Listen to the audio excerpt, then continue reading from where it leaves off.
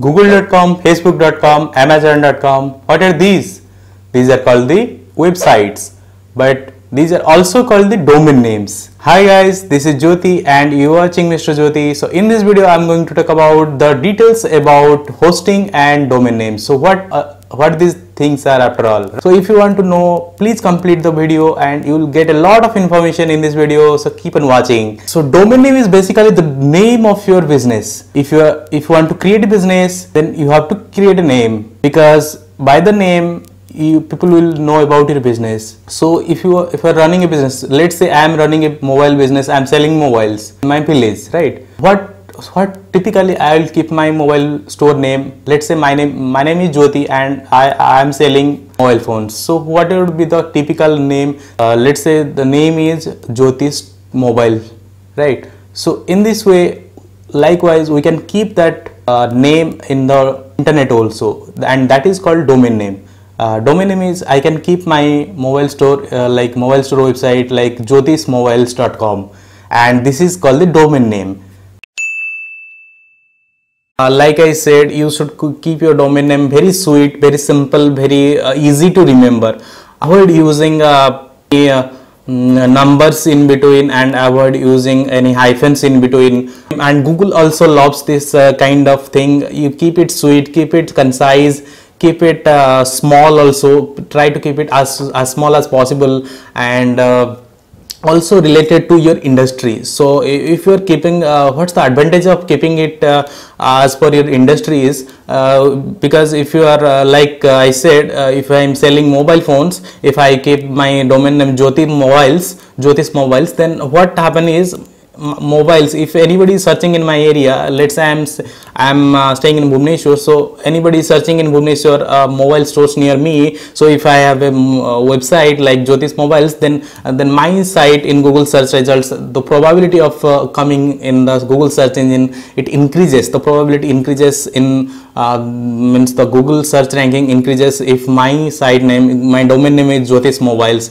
So it depends on your industry and which industry you are working and what's your uh, vision uh, how what's your industry what your products lines are. So accordingly you can keep your keep that domain names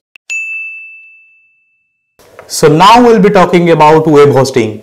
So what is hosting first of all? Hosting is nothing but keeping your files your man your, your uh, videos your images everything data online 24 7 on a specific server so let's know about server. If you are non-technical person and coming here for the first time so you might not know about what is a server. So server is basically like your computer like your uh, own personal pc but it has more computing power than your pc and uh, it can stay online for 24 7 and uh, so if anybody want to access your data if your computer personal computer is switched off then anybody cannot access that right? So if you want to uh, keep your files if you want to keep your website live for 24 7 365 days you want to you need to host your files you need to host your website in a particular hosting company. So hosting companies what they do is actually they have they have huge space in the huge bandwidth and they give a particular space to your website so that it can remain alert for it can remain online for 24 7 so that uh, any corner of the world can visit your website anytime 24 7 365 days. So they can reach you and they can take services from your uh, whatever services or products you deliver. Right? There are three types of mainly hostings are there. First one is uh, shared hosting and second one is virtual private server VPS hosting and third one is dedicated hosting, right? So uh, first of all, we'll talk about what is a shared hosting. Shared hosting is basically nothing uh, like uh, as it uh, sounds shared. You, are sharing something with any other people. shared hosting is like uh, traveling in a private bus. It's like a means there is a particular server space and many other sites information files images are are kept in that server space. So you have to manage uh, means you have to share your bandwidth you have to share your uh, storage you have uh, then second point is virtual private server. Virtual private server is the amendment of the shared hosting. it virtual private server your website will be in that means it also shares the same server but here what happens is it doesn't uh, means share it doesn't split the bandwidth and the storage right? Uh, and uh, it's better than shared hosting. Uh, shared hosting is uh, for the if you're starting out for now then you may then it's good to uh, go for share hosting because it's very much economical and you will get uh, very cheap uh, compared to VPS or dedicated hosting. So now come to dedicated hosting. Dedicated is hosting like uh, your own chartered plane, right?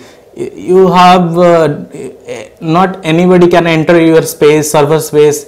You have the freedom of uh, using any bandwidth, any uh, storage you have the freedom of uh, installing any software any plugins in your storage spaces and there is no limit so absolutely you can do anything with your server space with the dedicated hosting but that's very much costly. Uh, so uh, for the people who are starting their business online for the first time they do not need dedicated hosting rather they should go for the shared hosting. So uh, that's all for today. So hope you understood what is domain and what is hosting. So thank you. Thanks for watching. So if you are new to my channel please consider subscribing to my channel and hit the bell icon